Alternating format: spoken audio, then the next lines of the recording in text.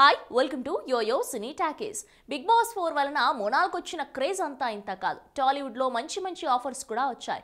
కానీ బిగ్ బాస్లో ఉన్నప్పుడు మన మన్మధుడు నాగార్జున ఏ అంటే ఏంటి అని అప్పుడు బాగా హైలైట్ చేశారు.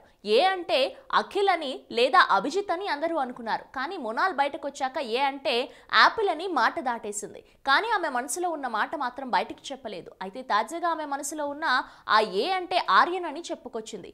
తెలుగులో ఐదారు సినిమాలు చేసిన మొనాల్ గజ్జర్కి పేరు తీసుకొచ్చిన చిత్రాలైతే సుడిగాడు బ్రదర్ ఆఫ్ బొమ్మాలి. అయితే బ్రదర్ ఆఫ్ బొమ్మాలి చిత్రం తర్వాత మోనాల్ గజ్జర్ తెలుగు సినిమాల్లో కనిపించడం మానేసింది.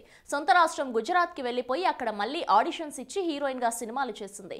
అయితే తెలుగులో ఆఫర్స్ వస్తున్నప్పటికీ రెండు వేల పదిహేను తర్వాత మోనాల్ సౌత్ ఇండస్ట్రీని వదిలేయటానికి ఓ బలమైన కారణమే ఉంది. మోనాల్ మాజీ ప్రియుడు ఆర్యన్ గురించి చెప్తూ సుడిగాడు సినిమా తర్వాత నాకు మలయాళం ఆఫర్ వచ్చింది. రెండు వేల పదమూడులో తమిళ ఆఫర్స్ వచ్చాయి. రెండు వేల పద్నాలుగు వరకు తమిళ్ళో సినిమాలు చేశా. ఆ తర్వాత రెండు వేల పదిహేనులో మళ్ళీ బ్రదర్ ఆఫ్ బొమ్మాలి ఆఫర్ వచ్చింది. ఆ సినిమా రెండు వేల పదహారులో రిలీజ్ అయింది. ఇంతకీ ఆర్యన్ ఎవరు? వీరిద్దరూ కలిసి చేసింది ఏంటి అనే విషయానికి వస్తే మొనాల్ మాజీ ప్రియుడు మలయాళ హీరో.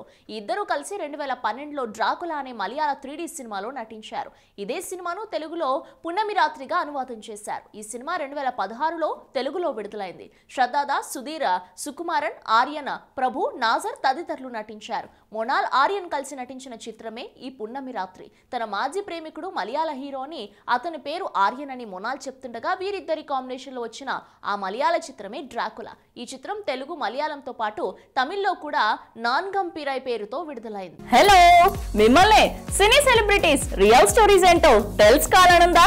లేటెస్ట్గా రిలీజ్ అయ్యే మూవీ రివ్యూస్ నేను చెప్తే వినాలనుందా? ఇంకెందుకు ఆలస్యం? యోయో సినీ టాకెస్ని సబ్స్క్రైబ్ చేసుకోండి. బాయ్! హా అన్నట్టు ఇంకో విషయం మర్చిపోయాను. కింద ఒక గంట సింబల్ ఉంటుంది దాన్ని లాగి బట్టి ఒక్కటి కొట్టండి.